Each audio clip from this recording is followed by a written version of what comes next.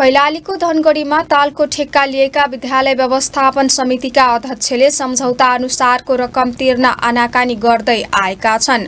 धनगढी उपमहानगरपालिका सोह्र घसिटामा रहेको बेहरा बाबा माध्यमिक विद्यालयको ताल विद्यालय व्यवस्थापन समितिका अध्यक्ष हरिनारायण राणा थारूले ठेक्कामा लिएका हुन्।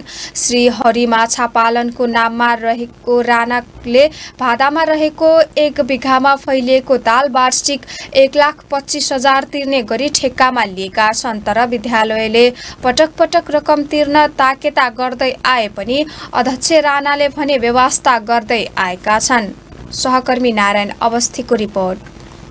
धनगढी उपमहानगरपालिका वडा नम्बर सोह्र घसिटामा रहेको बेहडा बाबा माध्यमिक विद्यालय व्यवस्थापन समितिका अध्यक्ष हुन् स्थानीय हरिनारायण राणा थारू। अध्यक्ष राणाले विद्यालयको नाममा रहेको तालमा माछा पाल्ने भन्दै हेक्का लिएका छन्।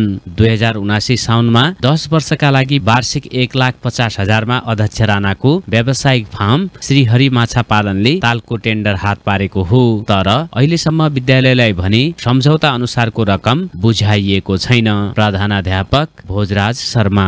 करिब एक बिघा क्षेत्रफलको जग्गा भाडामा दिएका छौँ। यो दुई हजार उनासी चार महिना एक गतेको सम्झौता अनुसार चाहिँ श्री हरि माछा पालन फर्मले ताल लगेको छ। तर उहाँबाट सम्झौता भएपछि रकम चाहिँ विद्यालयमा जम्मा नभएको। सम्झौतामा हरेक वर्ष पहिलो किस्ता पुष मसान्तसम्म र दोस्रो किस्ता असार मसान्तसम्म बुझाउनु पर्ने उल्लेख छ। जस अनुसार श्रीहरि माछा पालनले फागुनसम्म विद्यालयलाई तीन किस्ता तिर्नुपर्ने हो। तर अहिलेसम्म ठेकेदारबाट विद्यालयले एक रुपियाँ पनि पाएको छैन। विद्यालयले किस्ता र हर्जना सहित फागुन मसान्तसम्मको चार लाख बाह्र हजार पाँच सय रुपियाँ उठाउन सकेको छैन।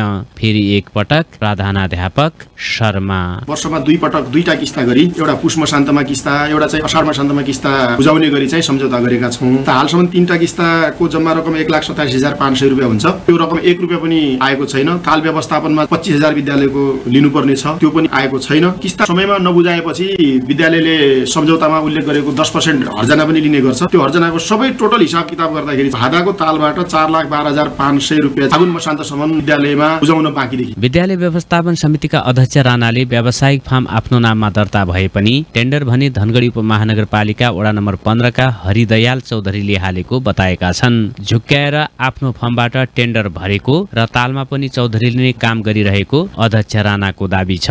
चौधरीले तिर्नुपर्ने रकम कानुनी हिसाबले आफूले तिर्नुपर्ने बुझेका अध्यक्ष राणाले चौधरीबाट अहिलेसम्मको रकम असुल गर्ने र ठेक्का तोड्ने बताएका छन्।